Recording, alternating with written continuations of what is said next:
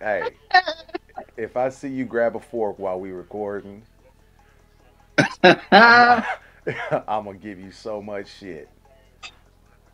Look, what I just say? Look about the cornbread, man.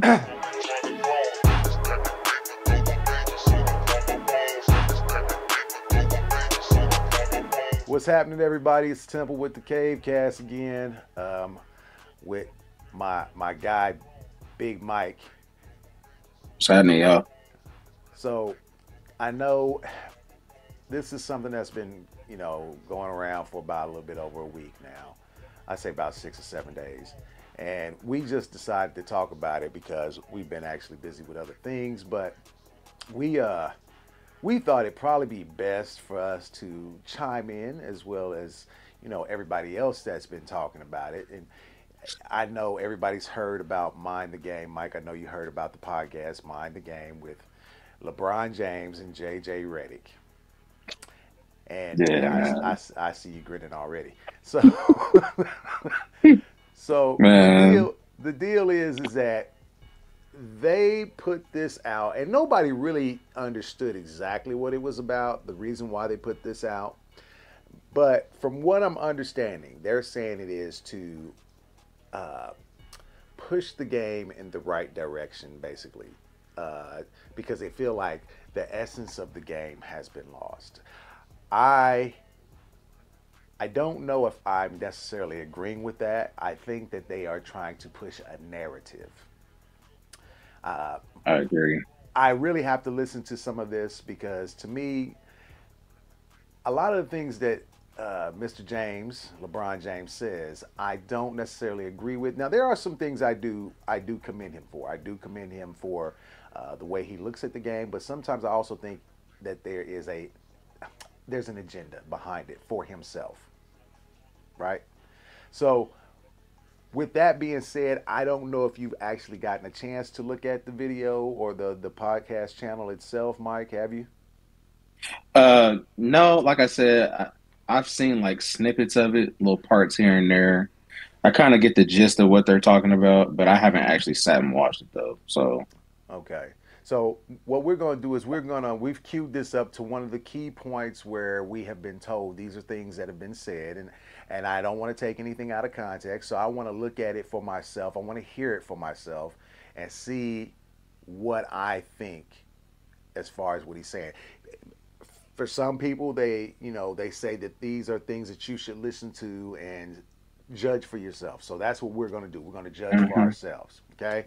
So with that being said, we're going to go to uh, part of the Mind the Game podcast, and we're going to listen to a little bit of it, and then we're going to come back and give you our reaction to what was said.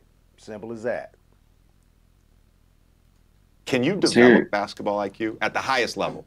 You can get a little smarter as a player. Can you develop it as a, You know what's funny? I, while you was while you when you brought up basketball IQ, I was start uh, the first thing that came to my mind. I started thinking right away. I was like, "Are you are you born with basketball IQ, or are you taught the game the right way, and now the basketball IQ clicks on?"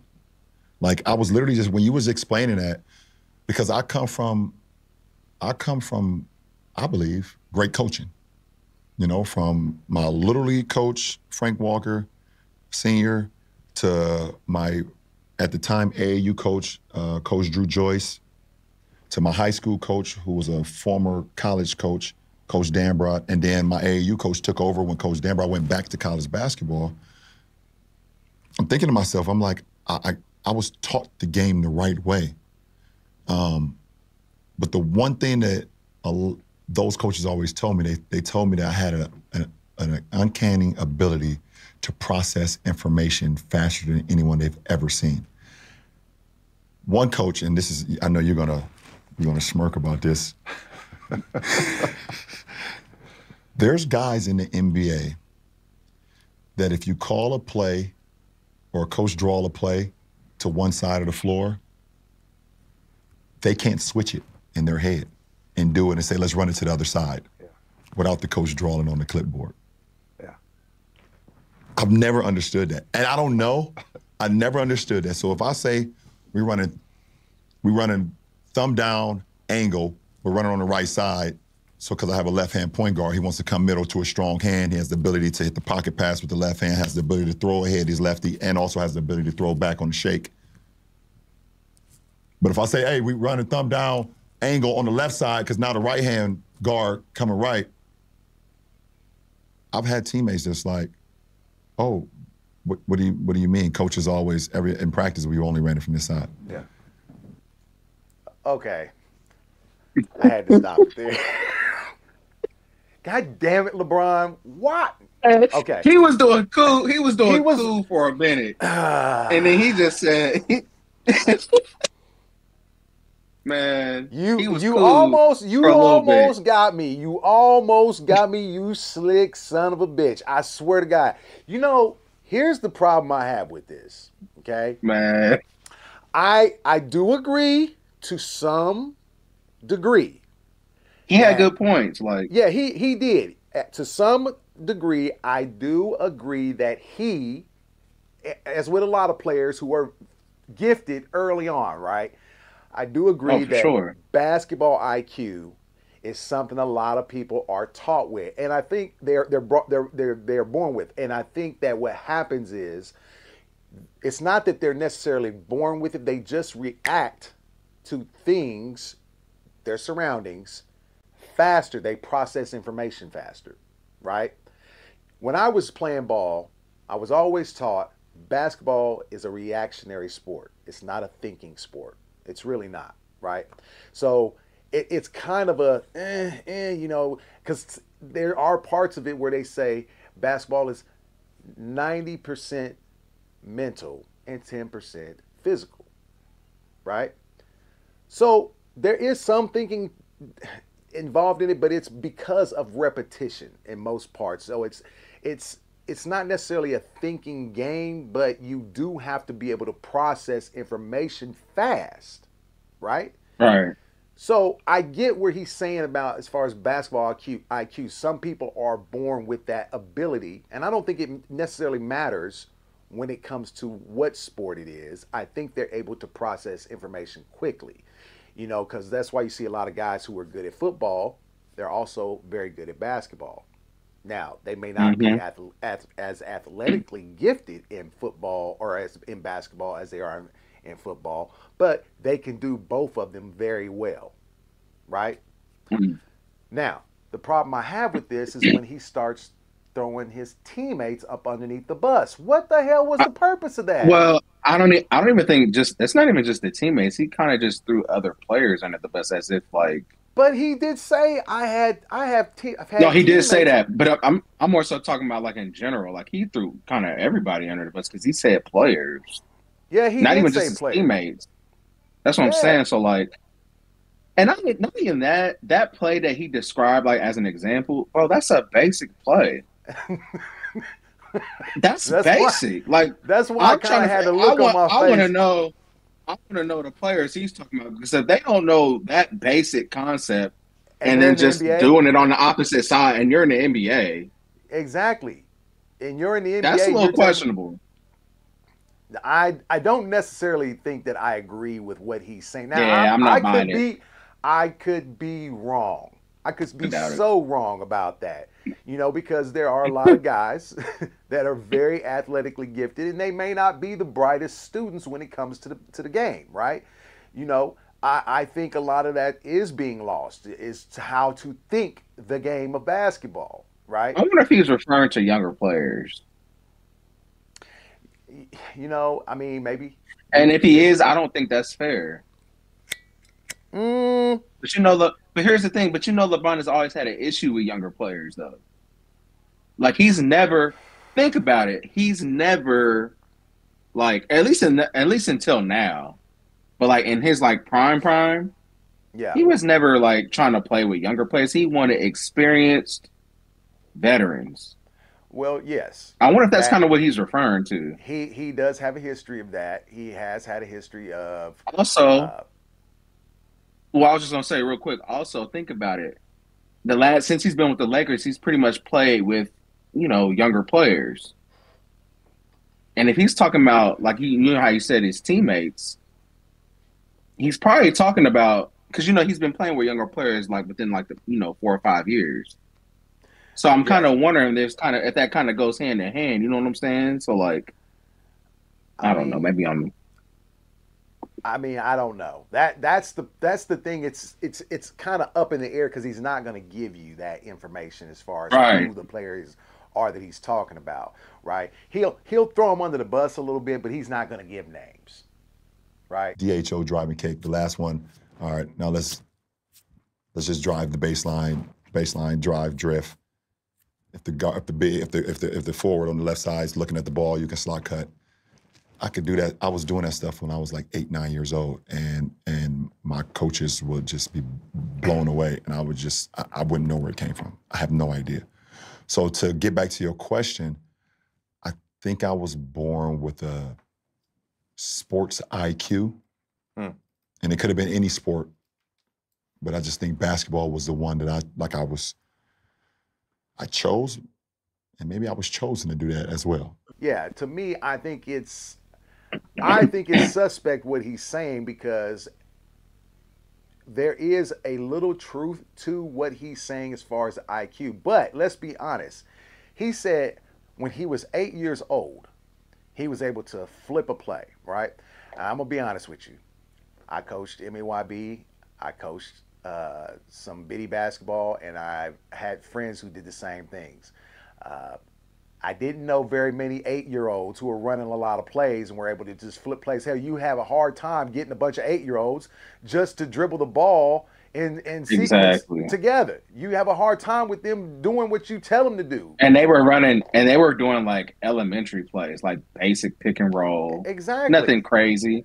They weren't trying to. They weren't worried about flipping plays and having a having a player uh, pass it off his left hand just because he's on this side. Like they wasn't doing stuff like that at eight years old. If he would have said 12, 13, I'd have been like, Okay, maybe I can Maybe. believe a little bit of that. But Okay, cool. Eight years old. eight years old. Eight? I'm not buying that Eight. because he's trying to make it seem like he's just so much smarter than everybody else. That's and I'm not saying. Here's the thing. Here's the thing. I'm not saying that LeBron isn't one of the smartest players in our in our in our game, but at the same time, it's like you just trying too hard to make it seem like you just here, and then everybody else is here. You know, like it, it's Look just not me. necessary. Look at me. Yeah, Look at me. exactly. That's what Look I'm at me. saying. It's just Guess not what? necessary. Guess what? I'm smarter than the rest of you. All of y'all. I was I'm doing this at eight years old. I was doing and this y'all at had to wait till y'all old. was twenty.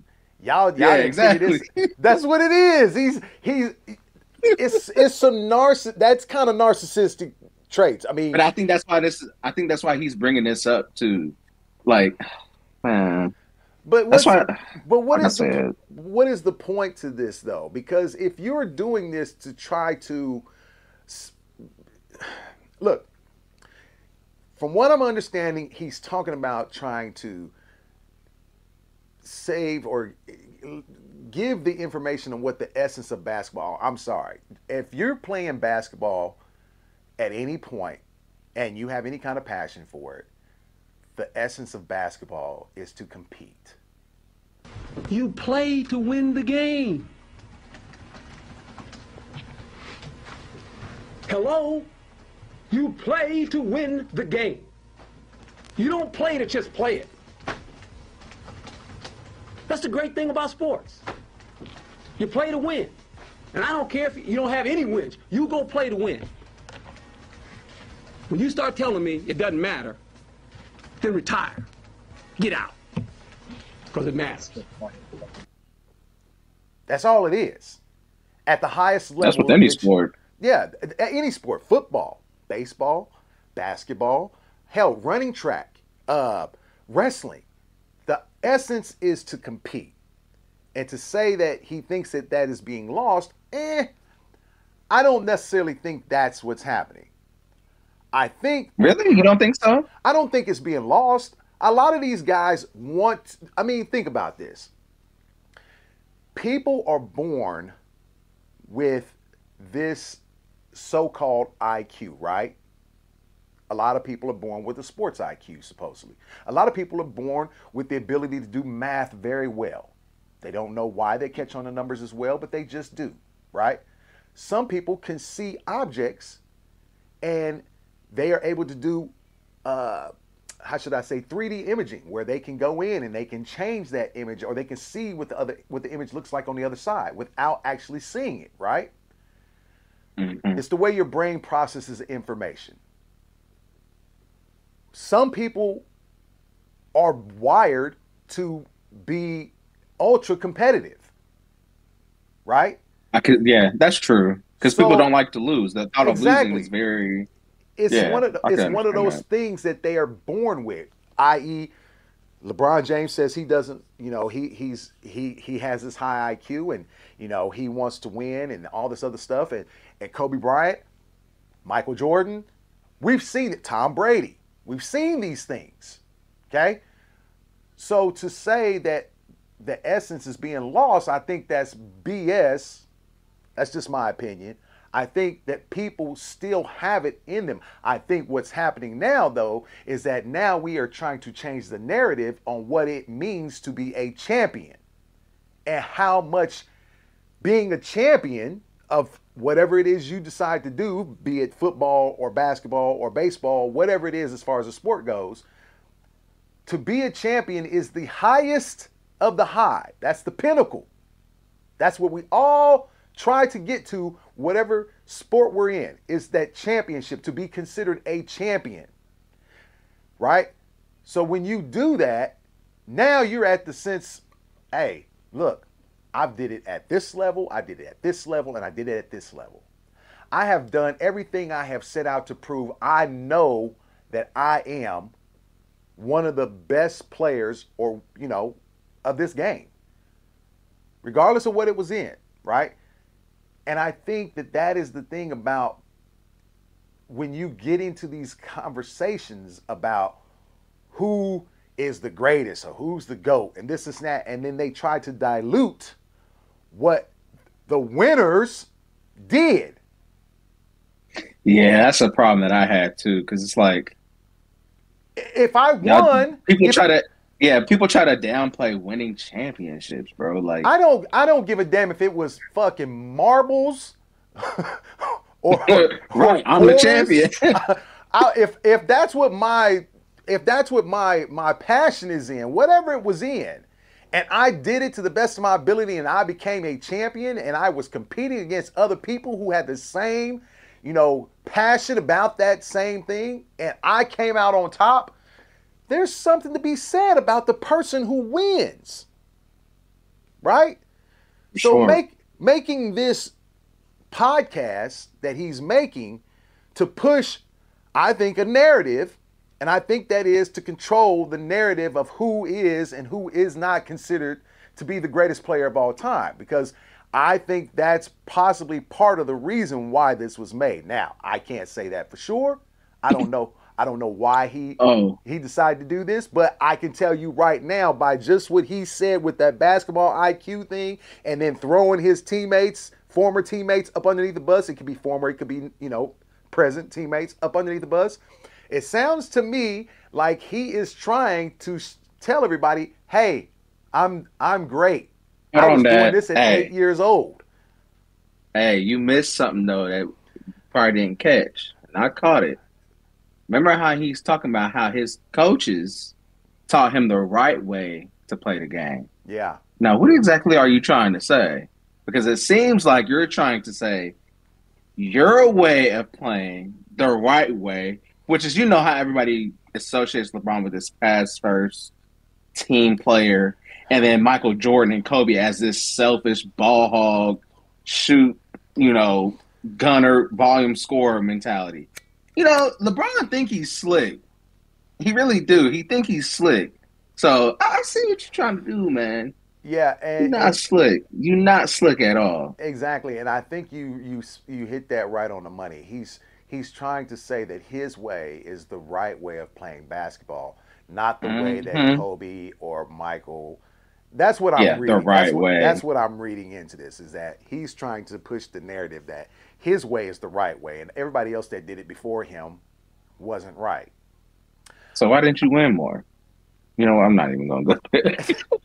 I mean, well, I mean, let's be honest. If your basketball IQ is that high, and you were doing it at eight years old, how come that little light skinned motherfucker kept, whoop, kept whooping your ass? Man, you already know what they're gonna say. They're gonna, you know what's funny? A matter of When it fact, it comes was that, two of them like it was two of them light skinned motherfuckers up there kicking your ass in Well- Golden State. Well, here's the thing. Well, here's the thing. You know what they're gonna say? They're gonna bring up KD, but these the same people that shit on KD any chance they get. Listen, They'll be like, KD is mentally weak, he's soft, and da da da da. But they'll be them same ones talking about how it wasn't fair because KD was on that team. Which one is it? but wait a minute, it was okay for LeBron to do it. That's what I'm saying. But even then, even then, it's like they they'll downplay certain players when it doesn't when it like to to benefit them in the conversation, and then downplay them at the same time to benefit them in the conversation, depending on what they're trying to do. You know what I'm saying? So it's just like you can't be like, oh man, that team was stacked. They had Kevin Durant, and then at the same time talk trash about Kevin Durant. That doesn't make sense to me. What's To make al- it make sense, bro. Well, what's also aggravating about this is that it's look, I didn't like what KD did. I thought it was kind of a, a weak move. We have talked about this, you know. I did. Yeah, I, we I thought, did. I thought it was Yeah, kind you of a weak hated it. move. I, I did not like. you didn't think it was kind of. You hated it. I, I, you remember. know, I'm just saying, I, I did not like it. Uh, I thought it was one of those moves where you know, hey, and I'm a competitor. I grew up this way. he could have beat. He could have beat Golden. They could have beat could Golden have. State. I thought to myself, why if he would have stayed, he could. They could have beat them. They and definitely. and could've. and that and that's what I think makes it so irritating. And I'm going to get to my point with this. I think that's what makes it so irritating is that when KD did it, he did it because LeBron did it. Okay, LeBron did it. Went and made a super team. KD said, "Hey, you know, I'm gonna go." That's the it too." ultimate super team. That's yeah, he said, "Oh, I'm gonna take it to He another said, level." I'm gonna take it to another level.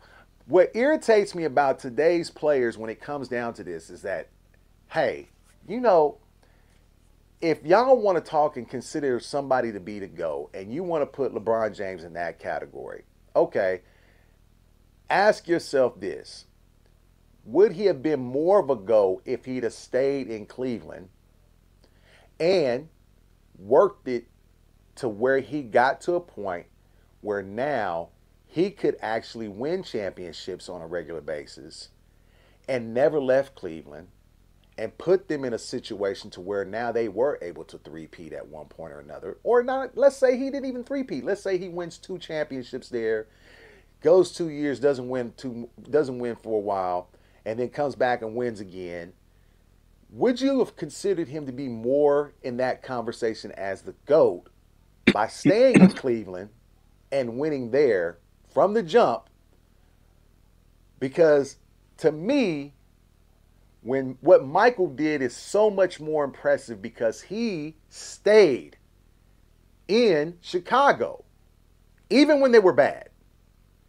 No matter Yeah, what. he he and he had he no dealt- control. he- he had no control Yeah, he- over over who they who they got with that pick with Scottie Pippen. Nobody knew Scottie Pippen was going to be what he was going to be. It just happened. and that's another thing. it just happened Hold to be on, that hold way. on.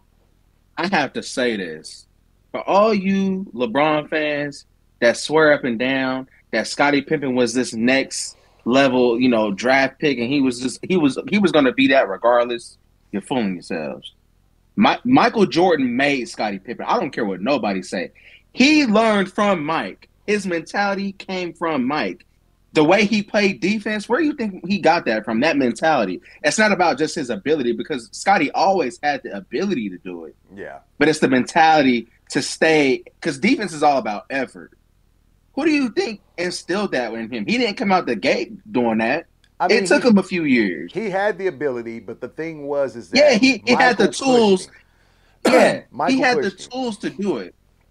Yeah. It all it all started with Mike. I, I'm I'm really tired of people saying that, bro. Yeah. It starts and ends with Mike. Mike is the reason why Scottie became what he became.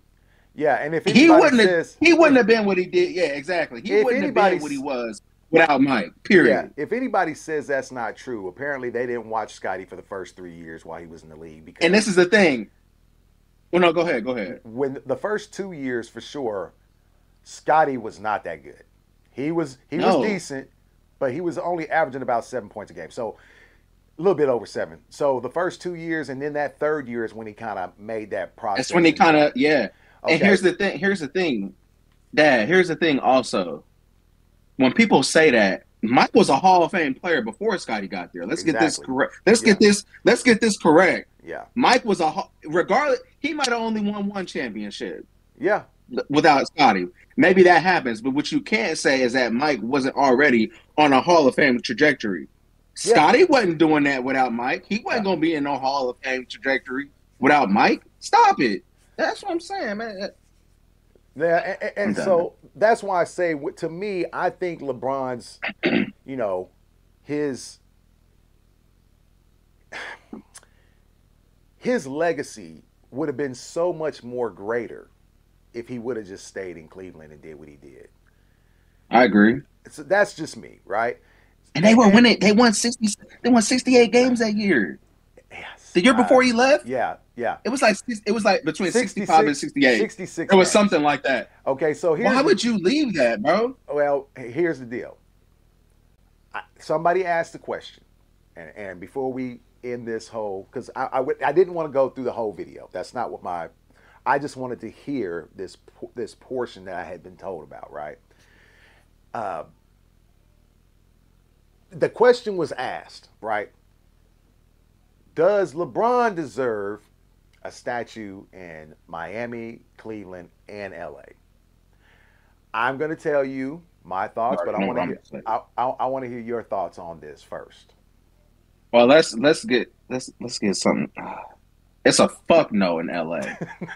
he better not get no. He better not get no statue in L.A. Wait a minute. So you telling me? And look, I get it. They won a championship. Uh, th- Now, that's for fine. Context, for context, y'all y'all do understand that man right there is a Laker fan. He, he's oh yeah, I'm a diehard. I'm a diehard Laker fan. Listen, here's the thing. Yes, they won a championship. That's fine. Great. Love it. Here's the Yeah. thing. The Lakers have missed the playoffs. How many times since he's been there? Three times. Yeah, and they're on the verge of of missing it this year too. And then they got bounced in the first round. Okay, hold on. It might be two times. I'm trying to remember because LeBron got there in 2020 or 19. I think it was 19. They, they didn't make it the first year. They didn't make it the first year. They they won in 2020. Yeah, They lost the next year in the playoffs, and then they didn't make it like the next two seasons. And then yeah, it's something like that. But they missed the playoffs at least two or three times, on the Yeah. verge of missing it again this year. And then they got bounced in the second round, got bounced in the conference finals last year. So you can't sit here and tell me that this man deserves a statue. He's done way more losing than winning in LA. So what are we talking about? Uh, so I I, Listen, I totally I uh, totally he can have one in. Cleveland. He should he should definitely get one in Cleveland. That's a that's a no one. brainer. Yeah, he should definitely Yeah, get one in Cleveland. That's a no brainer. He brought them their first championship. That's a no brainer. Miami, I don't know. I honestly Okay. don't know, and I'm not even trying to be funny. I honestly don't know. They better not build one before Wade, though. okay, so there's there here's here's the here's Wade, my that's Wade County. Let's get this correct. And- And, and okay, this- no, they shouldn't. Now that I think about it, no, they shouldn't. and that's because what I was Miami is Dwyane Wade. Period. That's what I was going to say. no. To me, I think it's a no-brainer. He gets one in Cleveland. You give him one in Yes. Cleveland, that's where he deserves it at, right? You can't go giving him one in Miami when Dwyane Wade has It's Miami. three rings in Miami. He won before LeBron got there. That's Wade County. When you So- think of the Miami Heat, you think of Dwyane Wade. He's the face. Period. He's the face of that franchise. Period. Right? So you don't give him one in Miami. And if you do, you are being a stupid and you better fanboy. not. If you do, You're you better not do fanboy. it before you give it to Dwyane Wade. I No, exactly. It should never happen in my in my opinion. It should never happen. Yeah, I don't think it should. It should never happen in LA either.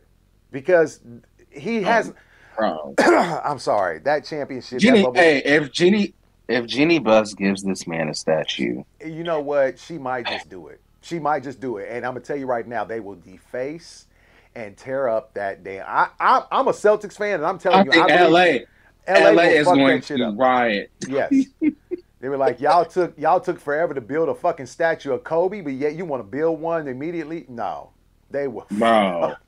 Could you imagine if he ret- let's say he retired, let's say he retired next year just for the sake of conversation. And they built him a statue with like within the like 2 years or 3 years. Bro.